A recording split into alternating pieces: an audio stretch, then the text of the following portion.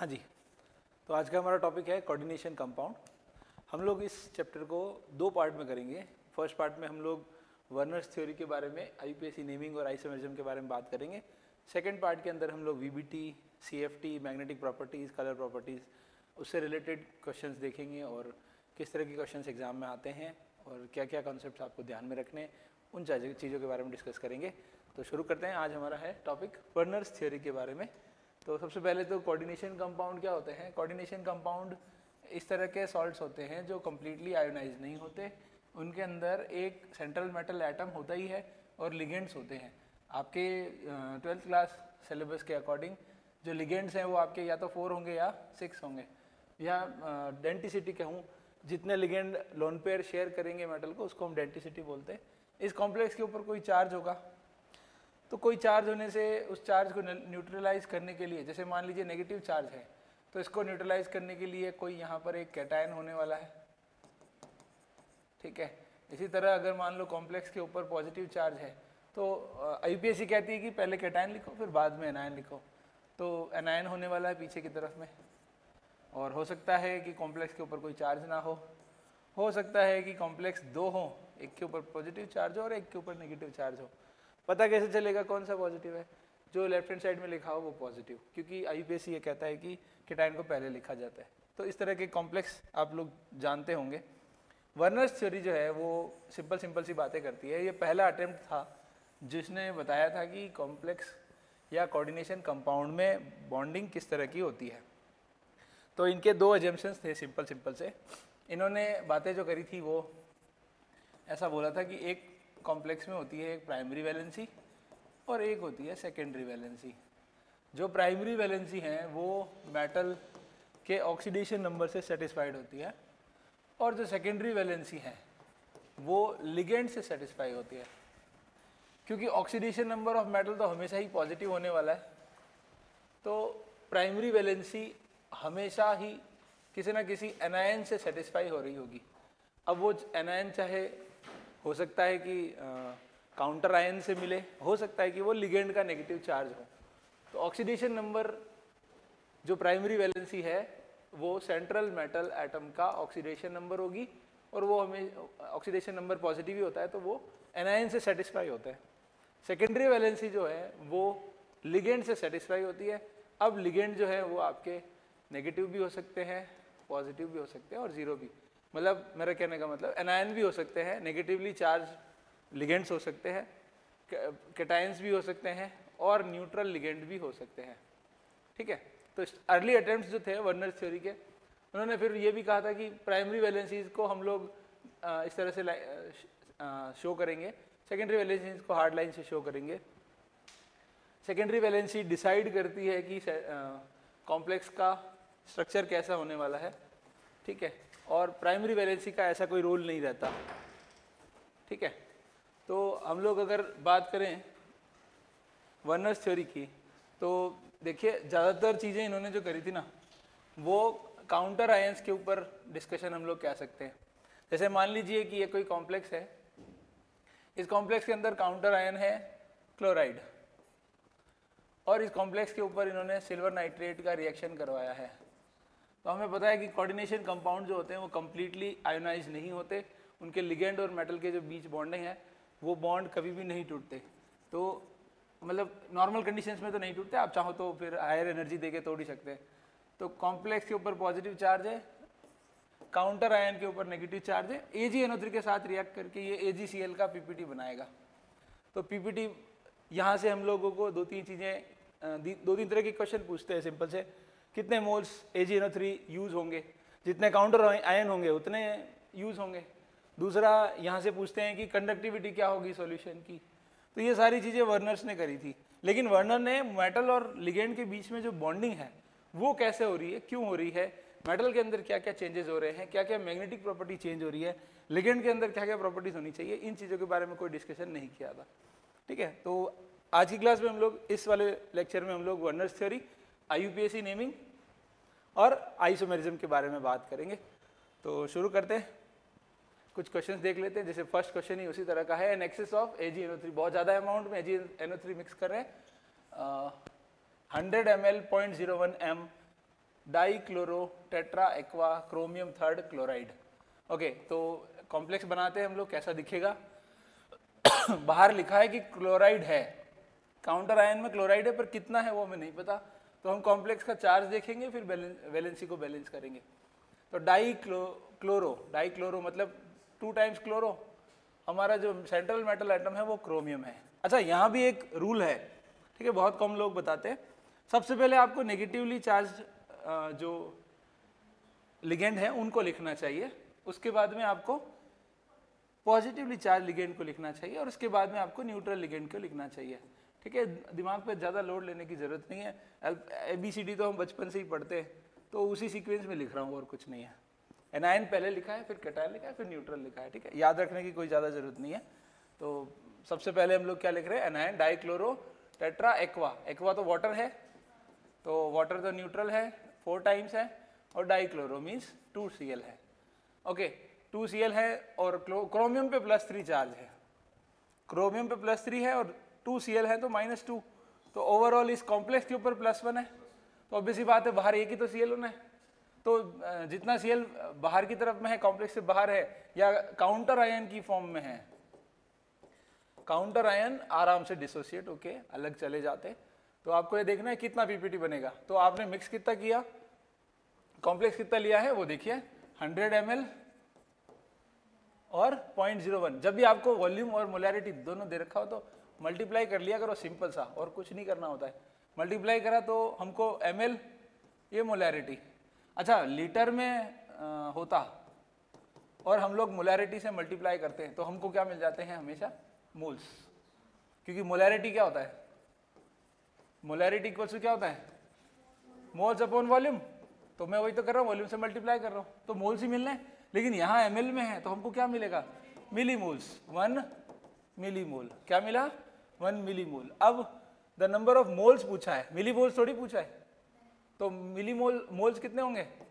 One in मिली का मतलब ten power minus three अब इतने ही तो A G N three use होने वाले हैं और इतने ही तो ए जी सी एल बनने वाले हैं। मान लीजिए अगर सी एल बाहर ज़्यादा होते तो हम लोग उतने नंबर को मल्टीप्लाई कर लेते। थ्री सी एल होते तो थ्री से मल्टीप्लाई कर लेते। अब ये नंबर ऑफ़ मोल्स है। देख लीजिए कौन से ऑप्शन में दे रखा है। Zero zero one okay okay okay, बहुत इजी क्वेश्चन आते हैं वर्नर थ्योरी से रिलेटेड ध्यान रहे प्राइमरी वैलेंसी सेटिस्फाई होती है काउंटर आयन से सेकेंडरी वैलेंसी सेटिस्फाई होती है लिगेंड से. और लिगेंड केटायन भी हो सकते हैं एनायन भी हो सकते हैं और न्यूट्रल भी हो सकते हैं. काउंटर आयन जो होंगे जिनसे सेटिस्फाई होने वाली है वो एनायन ही होंगे. ठीक है कंफ्यूज नहीं होना है बाहर कितने हैं? आपको बस ये ध्यान रखना है कि कॉम्प्लेक्स पे चार्ज कितना है. आ, मतलब सेंट्रल मेटल एटम का ऑक्सीडेशन नंबर कितना है? वही हमारी क्या है? प्राइमरी वैलेंसी ठीक है? बढ़ रहे हैं आगे। Cobalt third chloride form several octahedral complexes with ammonia, which of the following will not give test for the chloride? Chloride का टेस्ट कौन नहीं देगा? देखो, इन्होंने एक रेस्ट्रिक्शन डाल दिया है ऑक्टाहेड्रल कॉम्प्लेक्स ऑक्टाहेड्रल कॉम्प्लेक्स हमेशा कब बनेंगे? जब लिगेंड कितने हो? सिक्स आपके लिए वैसे भी बहुत इजी हो गया फोर और सिक्स ही है आपके सिलेबस में। इसके अलावा तो कुछ है नहीं तो टेंशन लेने की ज़रूरत ही नहीं है। तो ऑक्टाहेड्रल में सिक्स लिगेंड होने ही है। तो फाइव न्यूट्रल लिगेंड अंदर अगर कॉम्प्लेक्स में होंगे, जो ए है ना, वो ऐसा दिखेगा। कोबाल्ट और आपको लिखना है फाइव अमोनिया है ना? तो ammonia is five and one C L is the inside the complex मतलब एज ए लिगेंड काम कर रहा है, और बाकी जो टू सी एल है, वो बाहर की तरफ़ होने वाले कैसे पता चला ये? आपको देखना है अमोनिया कितना गिवन है। जितना भी न्यूट्रल गिवन हो, वो टोटल सारा का सारा आप यूज़ कर लें। सिक्स अमोनिया गिवन है तो अमोनिया जो है, हेक्सा, अमीन, सारा का सारा अंदर और सी सारे बाहर। अच्छा इन्होंने कॉम्प्लेक्स कोबाल थर्ड बोला है ना ओबीसी बात है तो बैलेंस हो रहा होगा, आप देखो। इस पर प्लस थ्री है, इस पर माइनस वन है तो ओवरऑल इस पर प्लस टू है। इसीलिए बाहर दो होनी ही है, ठीक है? थर्ड वाला में, देखिए जरा three C L are there as a ligand and all ammonia are as ligand so no counter ion is there ठीक है? इसका मतलब ये नहीं है कि उसकी प्राइमरी वैलेंसी नहीं है। ठीक है ना? ये मत सोच लेना इसकी प्राइमरी वैलेंसी नहीं है। कंफ्यूजन रहता है बहुत बार कि काउंटर आयन ही नहीं है तो प्राइमरी वैलेंसी नहीं। नहीं है primary valency is satisfied by the chlorine that chlorine is also satisfying the secondary valency also ठीक है? क्लोरीन यहाँ पे नेगेटिव लिगेंड है वो प्राइमरी वैलेंसी भी सेटिस्फाई कर रहा है और सेकेंडरी वैलेंसी भी। अगर आप इसका स्ट्रक्चर बनाएँगे एक अभी बना के इसका आइसोमेरिज्म भी बताऊँगा ठीक है? तो ऑब्वियसली बात है इसमें काउंटर आयन नहीं होता और इसमें हो, होगा या नहीं होगा कितने क्लोरीन बाहर होंगे? बोलिए? Four ammonia is there tetrammine we can say so tetrammine and there will be two C L inside the complex and one will be at outside so ये ये भी आपको टू मोल्स क्लोरीन देगा, ये three moles देगा, या one mole chlorine देगा। ये बिल्कुल एक भी क्लोरीन नहीं देने वाला। तो आपका आंसर क्या है? सी ठीक है? यही तो बोला not give the test okay आराम से कर सकते हैं? ओके okay, ये वाला जब आया था स्ट्रक्चर इसके बारे में बता देता हूँ। सिस ट्रांस तो सभी जानते ही हैं। ऑक्टाइड्रल कॉम्प्लेक्स है। ऑक्टाइड्रल कॉम्प्लेक्स जिसमें दो टाइप के लिगेंड हो। तो आप इस तरह से बना सकते हैं इसको। ओके okay, मैंने लिखा है सी एल सी एल और सी एल और इधर मैंने लिखा है अमोनिया अमोनिया और अमोनिया देखना यहाँ पे जो कॉम्प्लेक्स बनते हैं ऑक्टाइडल कॉम्प्लेक्सेस ऑक्टाइडल कॉम्प्लेक्सेस के अंदर ज्योमेट्रिकल आइसोनिज्म होती है। सिंपल सी बात है। हो सकती है अगर उसके अंदर आपको सिमिलैरिटीज़ नहीं दिख रही है तो। बहुत ज़्यादा अगर सारे ग्रुप एक जैसे हैं, तब तो कुछ होना नहीं है। लेकिन सिस ट्रांस के चांसेस रहते हैं। और एक ये वाला जो आइसमर है, जैसे इस वाले फेस को मैं देखूँ, और इस वाले फेस को मैं देखूँ ऑक्टाइड्रल जो होता है ना, उसमें कितने फेसेस होते हैं? ट्राइंगुलर फेसेस कितने होते हैं पता है ऑक्टाइड्रल में? लिगेंड तो सिक्स होते हैं। जैसे टेट्राइड्रल में कहूँ कि मेटल के साथ फोर लिगेंड्स हैं और एक में कहूँ मेटल के साथ सिक्स लिगेंड हैं। तो मेटल के साथ जब फोर लिगेंड तब उसका नाम उसका जो स्ट्रक्चर हम बना रहे हैं, या तो टेट्राहाइड्रल होगा या स्क्वायर प्लेनर होगा। तो टेट्रा मीन्स फोर ऑब्वियसली बात है। ऑक्टा मीन्स एट है ना तो या तो सिक्स लिगेंड ही है। तो ऑक्टाहाइड्रल जो है ना, वो फेसेस की बात हो रही है। जो ऑक्टाहाइड्रल कॉम्प्लेक्स बनता है ना, उसमें एक स्क्वायर हमारा एक होता ही है, एक प्लेन में होता है स्क्वायर एक ग्रुप ऊपर होता है और एक ग्रुप नीचे की तरफ़ होता है। ऊपर वाले ग्रुप से इस स्क्वायर के दो कॉर्नर्स को अगर हम मर्ज करें तो एक ट्राइंगल बनता है। तो ऐसे कितने ट्राइंगल बनते हैं टोटल एट ट्राइंगल बनते हैं। दो ऐसे बनेंगे, दो ऐसे बनेंगे और नीचे की तरफ़ में भी टू और टू टोटल एट ट्राइंगल्स बनते हैं ना? तो एक फेस बनाई है मैंने। देखो, ये ट्राइंगल बनाया ना। सिमिलर एक ट्राइंगल इधर भी बन सकता था, इस क्लोरीन से दोनों अमोनिया की तरफ़ और एक पीछे की तरफ़, एक आगे की तरफ़, ठीक है? तो अगर ट्राइंगल के एक फेस पर सारे के सारे सेम होते हैं ना तो ऐसे ज्योमेट्रिकल आइसोमर को हम बोलते हैं फैसियल फैसियल आइसोमर तो इसको लिखेंगे फैक ठीक है?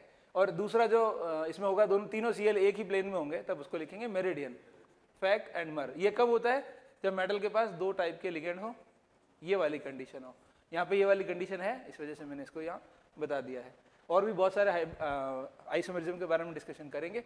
Which of the following will exhibit maximum ionic conductivity बात फिर से वहीं आ रही है नंबर ऑफ़ आयन्स की बात हो रही है, जिसमें आपको कॉम्प्लेक्स आयन की बात भी करनी है।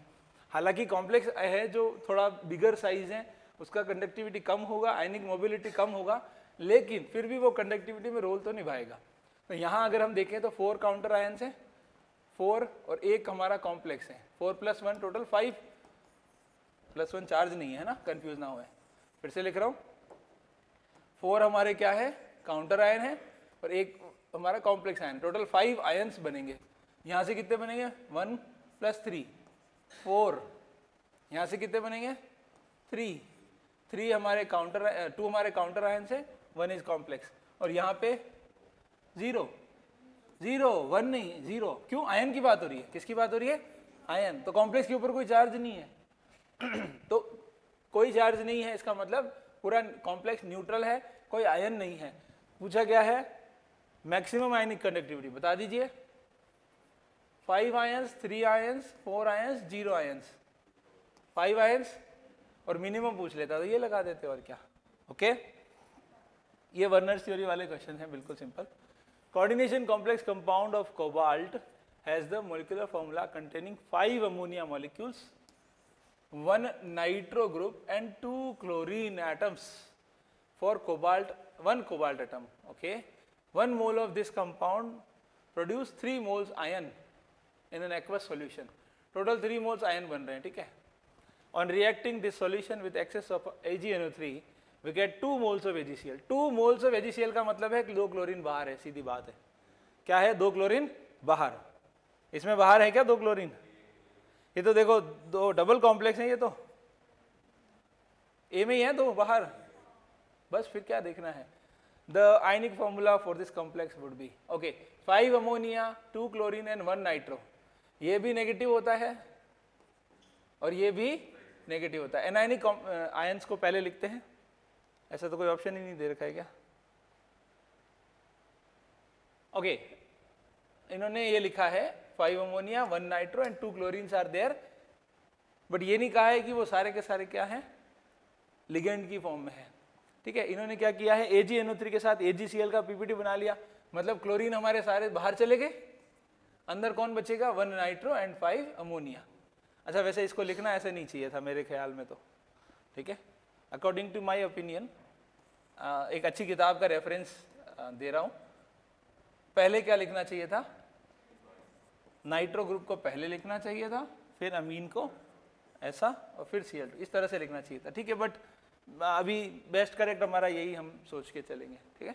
बाकी लिखने का तरीका क्या होता है? आ, पहले कौन लिखते हैं? एनायन फिर कैटायन और फिर न्यूट्रल। नाम लिखते टाइम हम लोग पहले अल्फाबेटिकल ऑर्डर यूज़ करते हैं। The sum of coordination number and oxidation number of metal coordination number और ऑक्सीडेशन नंबर दोनों का सम पूछा है। तो ध्यान रहे, ये M है इथाइलिन डाइमीन और C2O4 Cl इसके ऊपर नेगेटिव टू चार्ज होता है। ये माइनस वन है। तो ऑब्वियसली बात है मेटल पे कितना होगा? प्लस थ्री तो एक तो आपको थ्री ऐड करना है। थ्री में क्या ऐड करना है? कोऑर्डिनेशन नंबर कोऑर्डिनेशन नंबर क्या होता है? टोटल डेंटिसिटी कितनी है? ये बाइडेंटेड लिगेंड है। दो कोऑर्डिनेट बॉन्ड बनाएगा। ये भी बाइडेंटेड लिगेंड है। फोर कोऑर्डिनेट बॉन्ड बनाएगा। Six six plus three nine okay बहुत इजी क्वेश्चन आते हैं। कोऑर्डिनेशन कंपाउंड के बहुत इजी क्वेश्चन आते हैं और हर साल आते हैं। ठीक है? The anion of acetyl acetone forms this chelate with cobalt plus three the ring of the chelate are okay okay, बहुत सिंपल है। पहले तो ये समझो कि ये क्या है तभी तो आएगा क्वेश्चन क्या है ये? एसिटाइल एसिटोनेट एसिटाइल एसिटोन ठीक है? एसिटाइल एसिटोन जनरली अगर मैं कहूँ ऐसा स्ट्रक्चर है। ये एसिटाइल ग्रुप बोलते हैं इसको। एसिटाइल सब जानते हो? एसिटाइल ओके यहाँ क्लोराइड होता तो एसिटाइल क्लोराइड बोलते एसिटाइलेशन पढ़ाई होगा ना फ्रीडल क्राफ्ट एसाइलेशन वही एसाइल है ये। एसाइल को ही एसिटाइल बोलते ठीक है? और एसिटोन तो सभी को पता ही होगा। ये लो एसिटोन ये कंपाउंड जो है, वो बेस की प्रेजेंस में है। कोई भी बेस की प्रेजेंस में ये हाइड्रोजन यहाँ से रिमूव होता है। और क्या बनता है? C H C double bond O और सी एच थ्री यहाँ पर आता है नेगेटिव चार्ज ये नेगेटिव चार्ज रेजोनेंस करेगा और रेजोनेंस करके क्या बनाएगा? C H three C double bond O C H double bond C O negative और यहाँ पे सी एस थ्री कोऑर्डिनेशन पढ़ाते पढ़ाते ऑर्गेनिक के अंदर चले गए। कोई बात नहीं। देखें।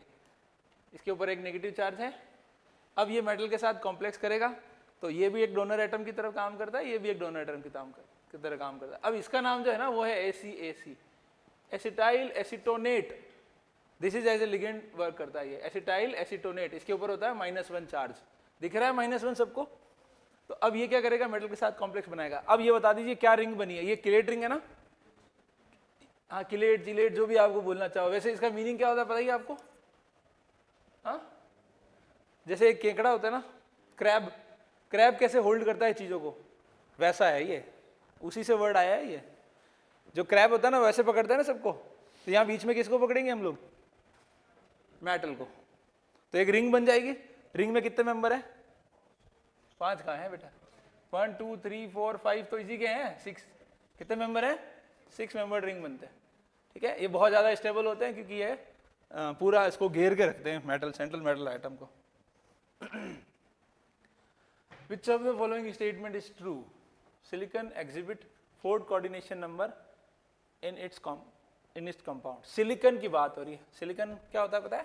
कार्बन फैमिली का सेकेंड मेंबर होता है। कार्बन फैमिली के सेकेंड मेंबर के अंदर डी ऑर्बिटल होता है या नहीं होता? होता है? इसके जो सिलिकेट्स वगैरह बनते हैं ना, वो हेक्सा कोऑर्डिनेटेड होते हैं। क्या होते हैं? Six coordination, hexa coordination. Because of D orbital है इसके पास। डी ऑर्बिटल होने की वजह से जो सिलिकन है, वो फोर कोऑर्डिनेशन नहीं बनाता। बनाता है बट सिक्स भी बनाता है। तो ये लाइन तो ट्रू है क्या ये? नहीं? Bond energy of F two is less than C L two अच्छा ये भी मिक्स हो गया देखिए केमिकल बॉन्डिंग के क्वेश्चन में मिक्स है, कोई दिक्कत नहीं है। एफ़ और एल की बात हो रही है। Bond energy of F two is less than C L two हमको लगता है कि स्ट्रॉन्ग बॉन्ड कौन बनाएगा? छोटा है तो एफ़ बनाएगा। लेकिन आपको मैं बता दूँ इलेक्ट्रॉन डेंसिटी बहुत ज़्यादा है, बहुत छोटा एरिया है। तो इसकी वजह से ये बॉन्ड थोड़ा सा वीक होता है। एज कंपेयर टू सी ये बॉन्ड वीक होता है। क्यों होता है वीक क्योंकि फ्लोरीन बहुत छोटा है और इतने छोटे साइज़ की वजह से इसका जो ऑक्टेट कंप्लीट है ना तो इलेक्ट्रॉनिक रिपल्शन बहुत ज़्यादा है तो ये बॉन्ड इजीली ब्रेक हो जाता है as compare to C L C L two और आपको ये भी ध्यान होगा ना इलेक्ट्रॉन एफिनिटी जो होता है, वो भी क्लोरीन का ज़्यादा होता है, जबकि इलेक्ट्रॉन नेगेटिविटी फ्लोरीन का ज़्यादा होता है तो इनका बॉन्ड इतना अच्छा स्ट्रॉन्ग नहीं होता। तो ये बॉन्ड एनर्जी इसकी कम है bond energy of F two is less ये बिल्कुल ट्रू है। M N plus three oxidation state is more stable than plus plus two देखना एक्वा सोल्यूशन के अंदर एम एन प्लस टू की बात हो रही है। एम एन प्लस टू जो है एम एन प्लस टू मतलब डी फाइव और डी फाइव और एक्वा के अंदर है मतलब स्टेबल कॉन्फ़िगरेशन हो गया ना एक तरह से ये तो। हाँ जी हाफ़ फ़ील्ड तो हाफ़ फ़ील्ड तो ज़्यादा स्टेबल होना चाहिए। तो ये तो थर्ड को मोर स्टेबल बोल रहा है, ये तो रॉन्ग है। Element of 15 group show plus three plus five oxidation state 15 group में कौन कौन आते हैं? यही आते हैं सारे।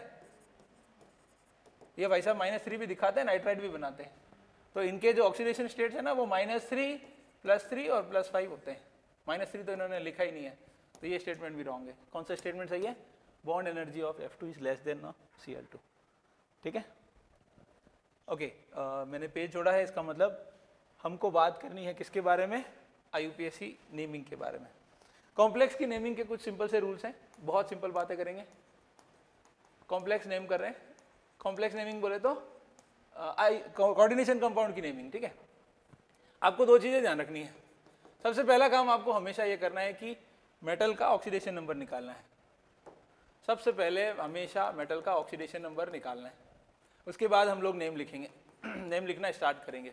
जब भी हम लोग नेम लिखेंगे तो रूल सिंपल सा ये है कि अगर आपके कॉम्प्लेक्स में कोई कैटायन है, तीन कंडीशन होगी, या तो कोई एनायन होगा या कुछ भी नहीं होगा, या दो दो कॉम्प्लेक्स होंगे। ये चार कंडीशन हो सकती है।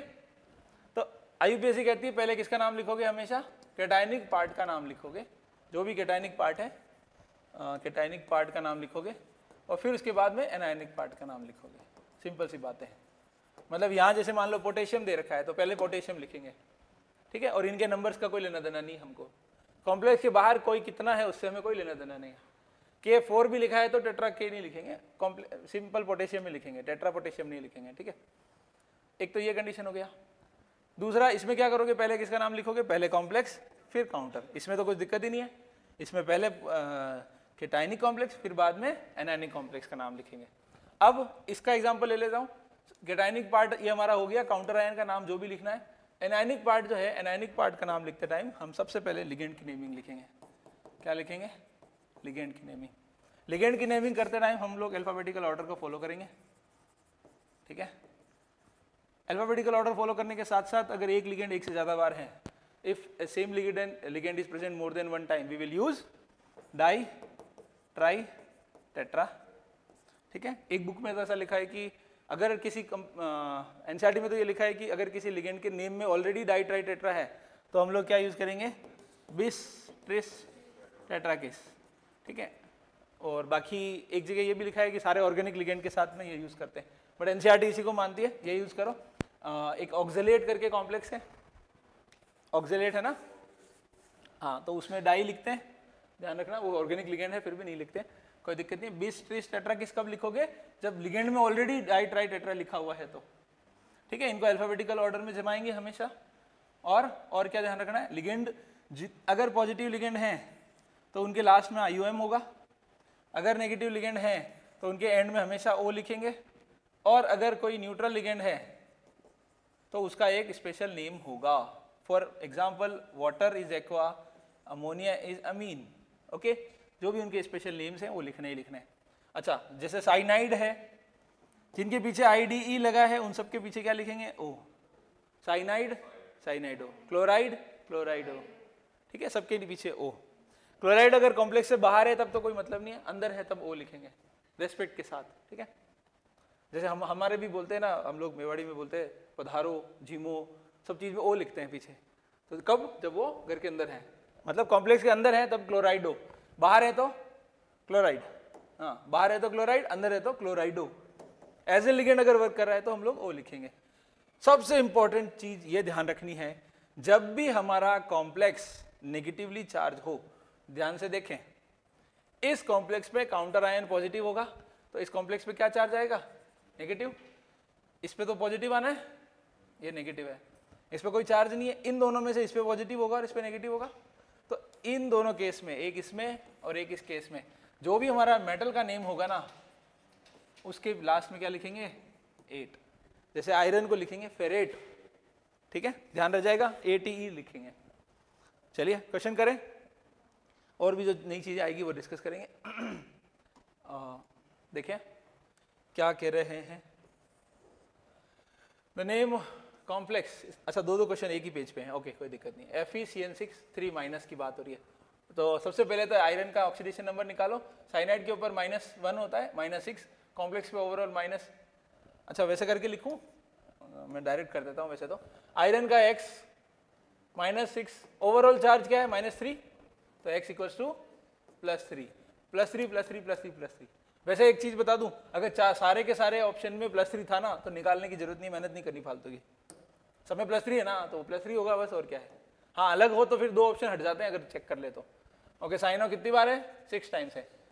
ओके सा हेक्सा ये तो नहीं होगा tri hexa hexa hexa cyano ठीक है? कॉम्प्लेक्स के ऊपर नेगेटिव है। हेक्सा साइनो ये क्या है? हेक्सा फेरेड थ्री ये क्या? साइनीटो साइनीटो नहीं होगा। ये गलत हो गया। ये तो वैसे ही गलत हो गया। इन दोनों में से एक है। हेक्सा साइनेडो और साइनो दोनों ठीक है? साइनो लिखो साइनेडो लिखो, दोनों ठीक है? ओके, कोई दिक्कत नहीं है। लेकिन कॉम्प्लेक्स नेगेटिव है तो आयरन नहीं लिखेंगे। क्या लिखेंगे? फेरेट ओके है? पक्का? साइनीटो नहीं होता, ठीक है? अगला है इसी पे है। The correct IUPAC name the for this fluoride ethylene diamine दो बार है और सी बाहर की तरफ़ है। फ्लोराइड का माइनस टू दो है ना फ्लियर फ्लोराइड? माइनस वन तो ओवर ओवर इसके ऊपर प्लस थ्री होना है। सब में प्लस थ्री है? ओके टेंशन खत्म। अब फ्लोराइड का एफ़ इथाइलिन डायमिन का ई e, पहले किसको लिखे? हम्म? ई e को? तो क्लोरो तो आना नहीं है। डाईफ्लोरो डाईफ्लोरो ये भी क्लोरो नहीं आना दो ऑप्शन गए। डाईफ्लोरिडो डाईफ्लोरो, ठीक है? ये भी ठीक था, ये भी ठीक था। बट यहाँ पे बीस के बाद इन्होंने डैश लगा दिया, ठीक है? ऐसा डैश लगाते नहीं है। हम लिखेंगे bis, ethylene diamine chromium, third, chloride. ये ज़्यादा एक्सेप्टेबल है, ठीक है? पहले झगड़े हुए थे आईयूपीएससी में इस बारे में, फ्लोरो और फ्लोरिडो में। फिर दोनों को सही मान लिया गया और फिर कुछ साइंटिस्ट लोगों ने कहा, नहीं, हम लोग फ्लोराइड लिखते हैं ना आईडीई लिखते हैं तो आईडीओ लिखेंगे, फ्लोराइडो। है ना? फ्लोरिडा नहीं लिखा है फ्लोराइडो लिखा है, ठीक है? डाई फ्लोराइडो बिस इथाइलिन डाइमिन क्योंकि इस नाम में ऑलरेडी डाई आ रहा है डाई तो बिस लिखेंगे। बिस ट्रिस और क्रोमियम थर्ड कॉम्प्लेक्स के ऊपर कॉम्प्लेक्स के ऊपर चार्ज कौन सा है? क्योंकि क्लोरीन है ना, बाहर तो नेगेटिव है तो कॉम्प्लेक्स पे प्लस है तो क्रोमियम ही लिखेंगे, बराबर है? ओके आगे बढ़े। देखिए हाइपोथेटिकल कॉम्प्लेक्स क्लोरो क्लोरो, देखो अब क्लोरो लिखा है, नाराज़ थोड़ी हो रहे हम लोग, क्लोराइडो क्यों नहीं लिखा? नहीं हो रहे नाराज़। Di aqua, tri ammine cobalt third, chloride can be represented by. Chlorido minus one है, डाई एक्वा न्यूट्रल है, और अमीन भी न्यूट्रल है। पहले कौन लिखेंगे? क्लोरीन। टोटल चार्ज देखो थ्री प्लस थ्री तो इस पर माइनस वन है क्या? और इस पर बाहर माइनस टू हो तो अंदर ये प्लस थ्री सही है ना ये तो? बाहर के सी तो देखने थे। तो ये आंसर तो आ ही गया है वैसे तो। चेक कर लो फिर से।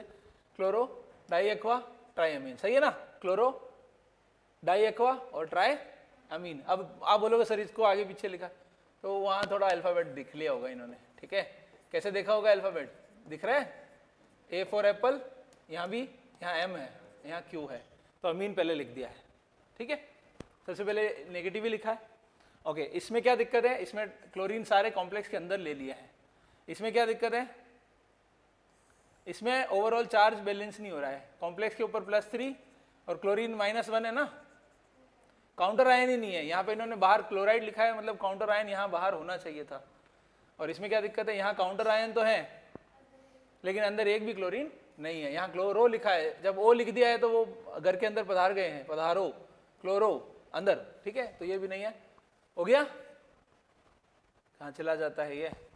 ओके ऐसे करूँगा मैं। The formula of di chlorobis urea copper second di chloro एक तो ये ये है फिर बिस यूरिया अब आप बोलोगे सर यूरिया में तो डाई ट्राइटेट्रा था ही नहीं.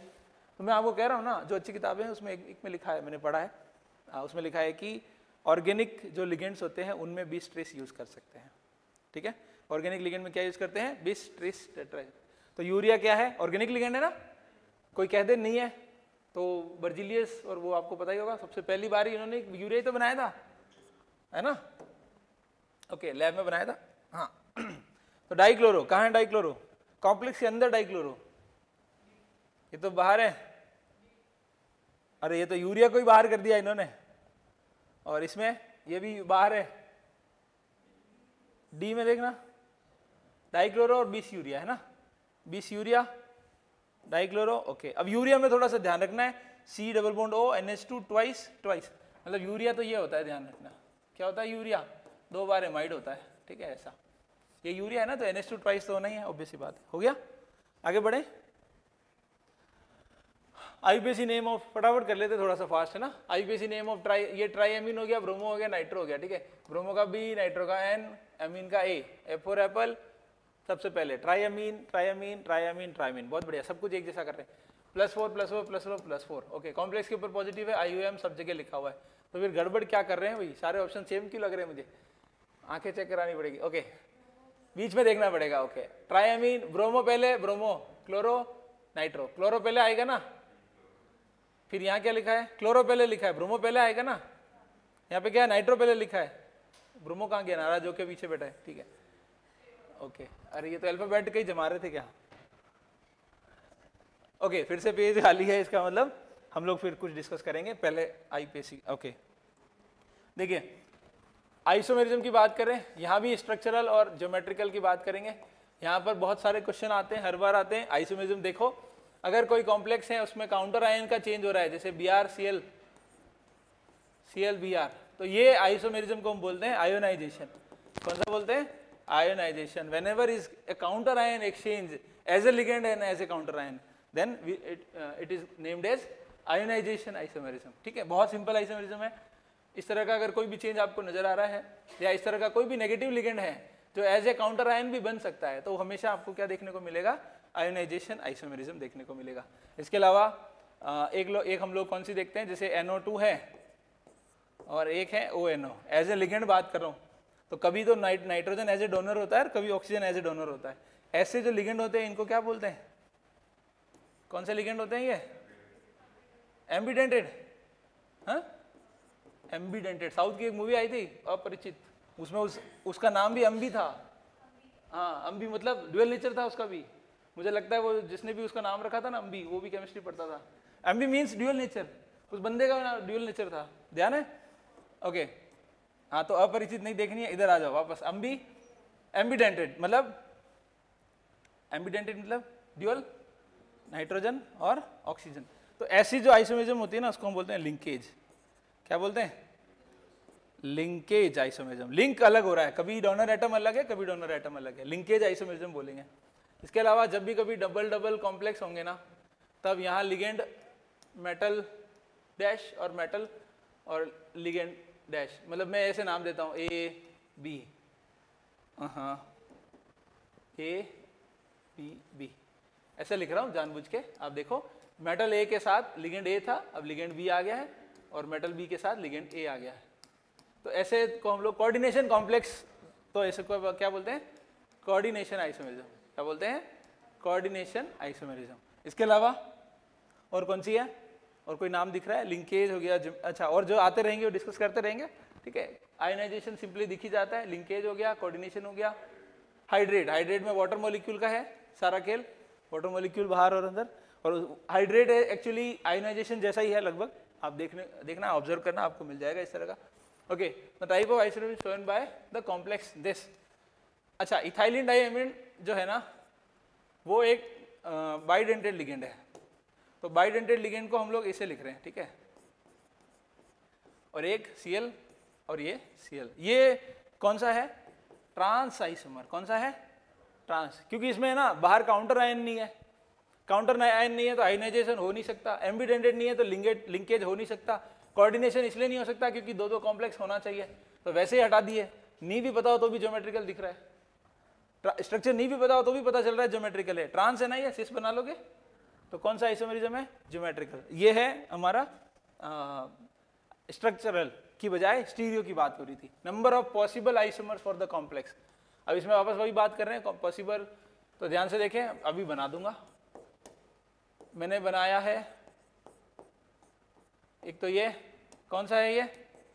ट्रांस ट्रांस कभी ऑप्टिकल एक्टिव नहीं होते, ध्यान रहे. ट्रांस कभी भी ऑप्टिकल एक्टिविटी शो नहीं करती. ये ई एन ये सीएल और ये सीएल ये कौन है? सिस इसका एक ऑप्टिकल एक्टिव आइसोमर होगा। ठीक है? ऑप्टिकल एक्टिविटी लाने के लिए आप ये ध्यान रखें जब भी बाइडेंटेड लिगेंड दो बार, एक बार होगा तो तो ऑप्टिकल एक्टिविटी आने के चांस कम है। कितने लिगेंड लगे हुए हैं कौन कौन लगे हुए हैं, उस पर डिपेंड करेगा। अगर एक से ज़्यादा बार हैं, जैसे दो बार है या तीन बार है, तब तो ऑप्टिकल एक्टिविटी आनी आनी है। ठीक है? दो बार है बाइडेंटेड लिगेंड अगर दो बार है तो ऑप्टिकल एक्टिविटी आनी आनी है। किसमें आएगी? सिस में। तो इसका एक ऑप्टिकल आइसोमर भी होगा। दिख रहा है यहाँ पे? मिरर इमेज तो कितने हुए? वन टू और थ्री कर सकते हैं? इसके अलावा कुछ हो सकता है क्या? बताओ क्लोरीन बाहर जाए क्लोरीन अंदर आए, कोई फ़र्क पड़ेगा? तो ऐसे कोई दिक्कत है ही नहीं आयनाइजेशन कर नहीं सकते एम्बिडेंटेड है नहीं लिगेंड वाटर है नहीं हाइड्रेट नहीं कर सकते आयनाइजेशन नहीं कर सकते कोऑर्डिनेशन नहीं कर सकते लिंकेज नहीं कर सकते. बड़े आगे.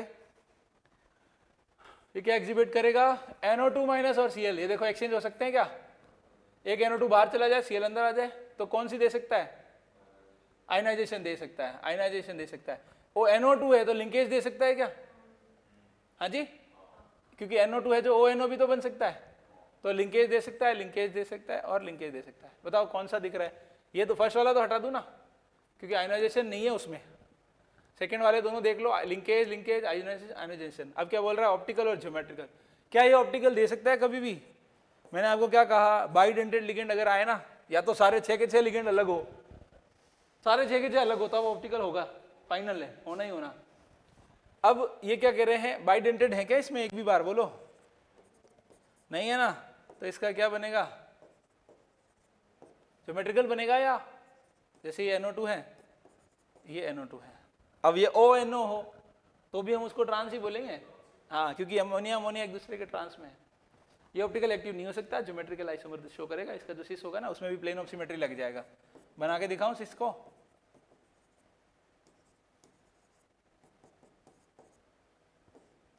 ये NO2 यहाँ से मैंने यहाँ ले लिया, ये अमोनिया, यहाँ पे NO2 और ये NH3 प्लेन ऑफ़ सिमेट्री लग जाएगा यहाँ पे, कि नहीं लगेगा?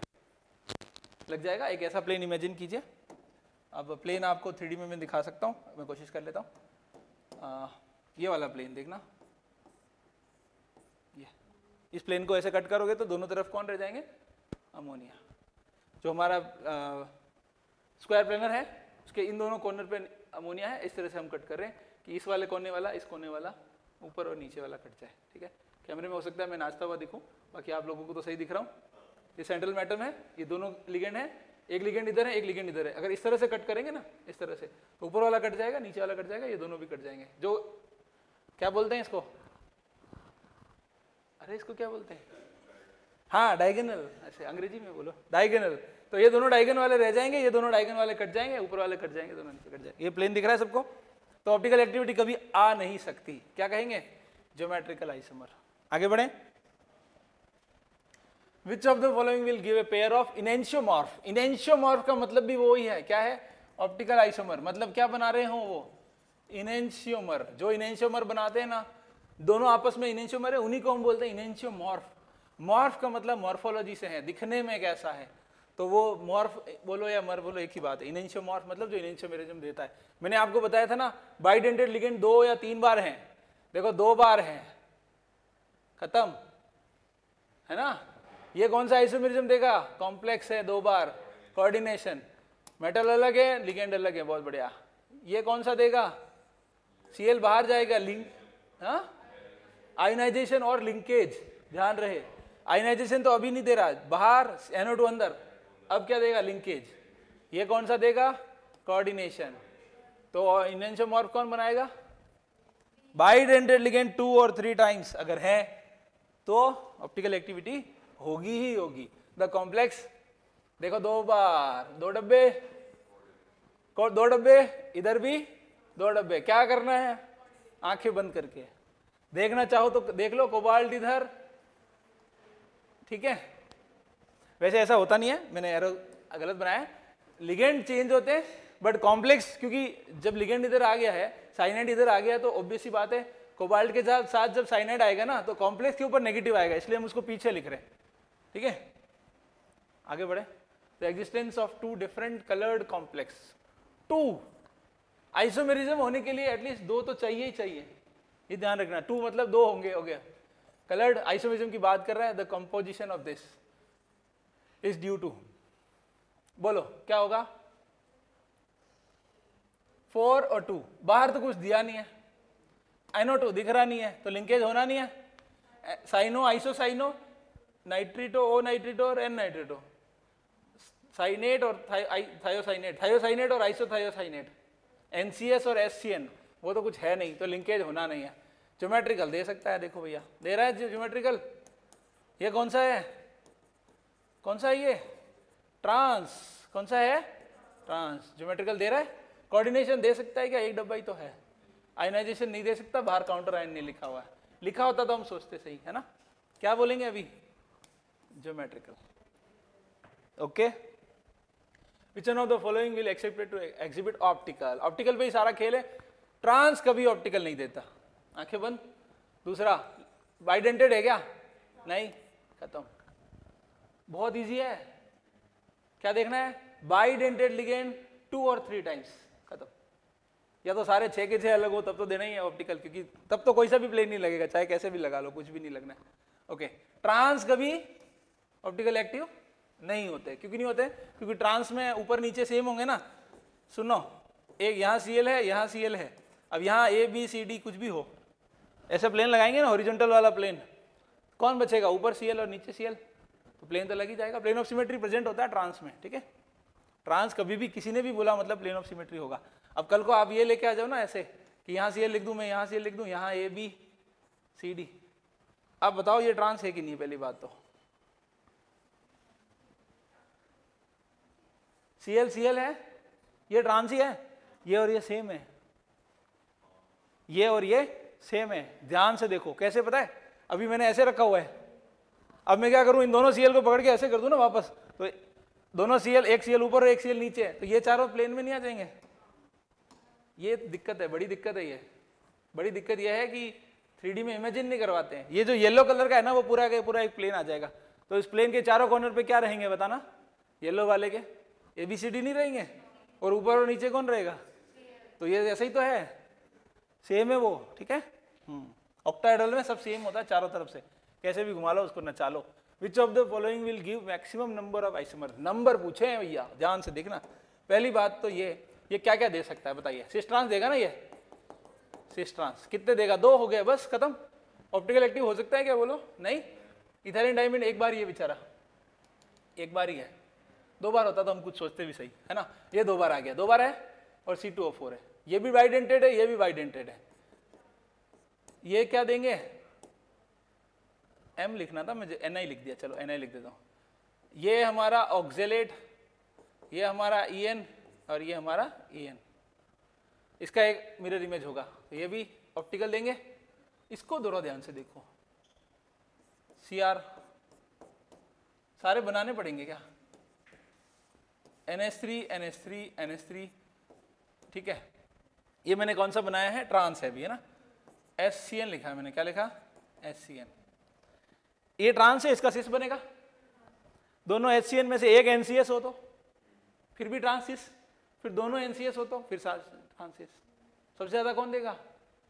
डी क्यों देगा? मैक्सिमम नंबर ऑफ़ आइसोमर क्यों बनेंगे? पता है? ये क्या बना है? ट्रांस। ठीक है, ट्रांस बना, इसका सिस बना दो एक तो। दूसरा, दोनों, लिंकेज करके दोनों को एनसीएस कर दो।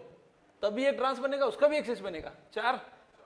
फिर वापस सोचना, एक एनसीएस और एक एचसीएन हो तो। पाँच। फिर उसका वापस सिस उसका वापस उल्टा करेंगे तो नहीं सिस है ना? छह बन जाएँगे। सबसे ज़्यादा कौन दे रहा है? ये। आगे बढ़े। The number of geometrical isomer possible for this okay geometrical isomer ये प्लेटिनम जो है ना स्क्वायर प्लेनर बनाता है। मुझे वैसे बनाकर बहुत ही दुख हो रहा है, पर फिर भी चलेगा। सिस्ट्रांस बनाएँगे और क्या है ना? देखो, अगर ओ एन ओ होता ना तो गड़बड़ हो जाती एनओ टू होता तो। क्योंकि एनओ टू एनओ टू फिर NO two O N O फिर ओ एन ओ ओ एन ओ ये तो सारे ट्रांस है, फिर उन सब के सिस सोच के देखो, है ना? अमोनिया की जगह क्या होता? एनओ टू तो एनओ टू एनओ टू खेलते हम। फिर क्या लिखते? ओ एन ओ ओ एन ओ फिर क्या लिखते? एनओ टू और ओ एन ओ फिर इन सब के सिस क्योंकि ये तो ट्रांस है। तो बहुत सारे हो जाते हैं। अभी तो आप देख ही रहे हो कितने होंगे। कितने होंगे?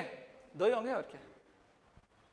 Which of the following coordination compound with exhibit optical देखो फिर से ऑप्टिकल पेंटामीन देखा क्या? नहीं diammine dichloro platinum second trans trans देते हैं क्या? नहीं ट्रिस बोले तो थ्री टाइम्स कौन है इथाइलिन डाईअमीन क्या होता है? बाइडेंटेड खत्म। हाँ जी? खत्म।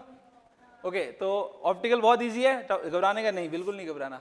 बाइडेंटेड लिगेंड टू टाइम्स और थ्री टाइम्स देगा ही देगा ऑप्टिकल या तो सारे के सारे लिगेंड अलग हो तो फिर तो भी देगा ही देगा। ओके है?